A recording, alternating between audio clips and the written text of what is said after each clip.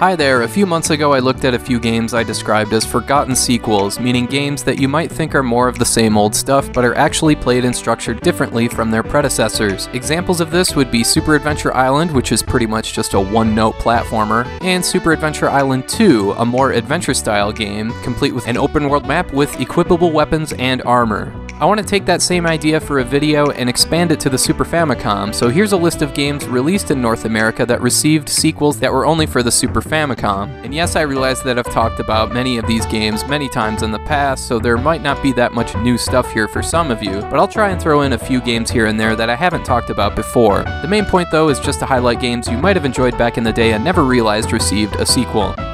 A great example of this is The Legend of the Mystical Ninja, a co op platformer with a ton of variety in both the level design and the game structure. It's one of the best games Konami made for the Super Nintendo, and that's saying something.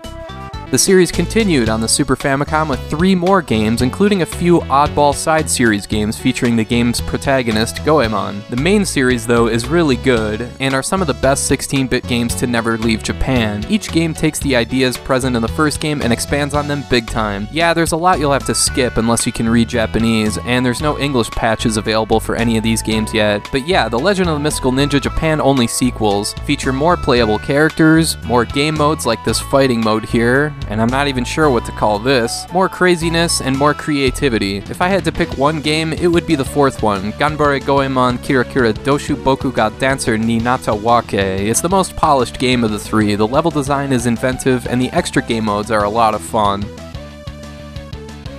Here's an NES game that received a sequel on the SNES in Do Re Mi Fantasy. Yeah, this one's actually a sequel to Milon's Secret Castle, and while that game uh, may not be the best, Do Re Mi Fantasy is a fantastic platformer. The level design here is nuts, where you're inside a cake with knives coming at you, you're blasting through walls. Yeah, your attack is blowing bubbles, but this game is more about pure platforming rather than defeating enemies. This is a really good game that deserves more attention. There's a couple Tetris games on Super Famicom that never made it anywhere else, like Super Tetris 3, which is 4 player compatible and features all sorts of twists on the usual Tetris formula, like using bombs to create chain reactions that negatively affect your opponent. There's also Tetris Battle Gaiden, which is more of a puzzle fighter type game, with the gameplay being closer to something like Puyo Puyo. You can't go wrong with either of these games if you're looking for some good versus multiplayer games. The same could be said for Super Bomberman 4 and 5. The first two Super Bomberman games were released in North America, the third only made it as far as PAL regions, but the fourth and fifth games stayed in Japan. Super Bomberman 4 is crazy, featuring Louis you can ride around that kick bombs from across the map. There's the Mad Bomber mode, where if you're eliminated, you can hang out on the side of the map and still cause chaos. There's a map editing mode. This game is nuts. Super Bomberman 5 has more of the same, plus you can create your own character. Both these games support up to four players as well, although if you you want to play a single player mode, I think the fifth game has the best single player mode out of any of them, so there's that too. Either way, you can't go wrong with the Super Bomberman series. Both 4 and 5 are fantastic. Mickey's Magical Quest is a solid Capcom Disney platformer, and that was followed by the Great Circus Mystery starring Mickey and Minnie. But there was a third game in the series for the Super Famicom called Mickey to Donald Magical Adventure 3. It follows the same kind of format as the first game, but allows for two player co op. There's four different outfits here, like the knight armor, for example, or in Donald's case, a barrel and a bowl for a helmet. This is a fun one that exudes a lot of personality. It was eventually released in North America on Game Boy Advance in 2003, so it's available there as well. Here's a little more of an obscure one. Super Bonk got a sequel that never left Japan titled Super Genjin 2 or Super Bonk 2, and I'd call this the better of the two games, featuring some interesting level design that fits all of Bonk's bizarre power ups really well. The sprite animations here are great too. So if you want to get into the Bonk series but you don't have a TurboGrafx 16, then not only is there Super Bonk, but Super Bonk 2 for the Super Famicom as well. There's a few RPGs that got Japan only sequels. Bear in mind to play these, you'll need an English patch, and you can obtain each patch at romhacking.net. Let's start with Brandish, which, let's be honest, is a pretty crappy game. It's just really disorienting and not very intuitive. Brandish 2 for Super Famicom, to its credit, at least polishes the game a bit more, even if it does keep that weird hybrid overhead dungeon crawler perspective. These games can be tough to get into, but Brandish 2 does at least have an on screen map, more varied dungeon design, and a halfway interesting story, so if this looks interesting to you, go check it out.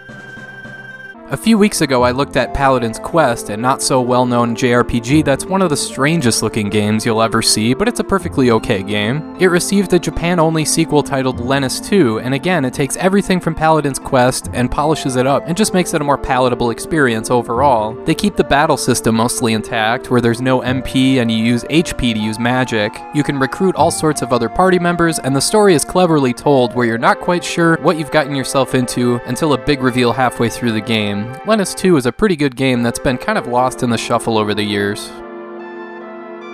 Remember Ogre Battle March of the Black Queen? That received a sequel on Super Famicom 2 called Tactics Ogre Let Us Cling Together. This is a classic strategy RPG and looks and plays like a prototype of Final Fantasy Tactics, and it might be the best true sequel on this list because it takes everything March of the Black Queen did and makes it that much better. Of course, I have to mention Seiken Densetsu 3, the sequel to Secret of Mana that unfortunately still has not been released anywhere other than Japan despite a reliable and consistently updated English patch. I've blathered on about this game a ton over the years, so I'll just say if you liked Secret of Mana and you somehow haven't heard of or played this game at this point, you won't be disappointed. It features the same strength Secret of Mana had, like a fantastic, colorful visual style and a memorable soundtrack, and of course the badass top-down combat system, but with more of a polished hit detection and no more of that hold the button down for a longer attack nonsense. This is a great game and one of the best 16 bit games to never leave Japan. Last but not least, I have a few Satellaview broadcasts here. The Satellaview was a satellite modem attachment to the Super Famicom that could receive broadcasts that sent playable games to your console, and you can only play the games during the hours these broadcasts were made available. I'm not going to get too far into the nuts and bolts of how that works because that's just opening a huge can of worms. So I'll just say there were some interesting games, so to speak, that were broadcast at that time that are now available to be played in ROM form. One of these Satellaview releases was for F-Zero, called BS F-Zero Grand Prix 2, the BS standing for Broadcast Satellite. The first Grand Prix title was just the original game with new tracks added, but Grand Prix 2 is just the new tracks in addition to four new racers to choose from. So yeah, if you just want more F-Zero, more tracks, and more jet-powered cars, then here you go.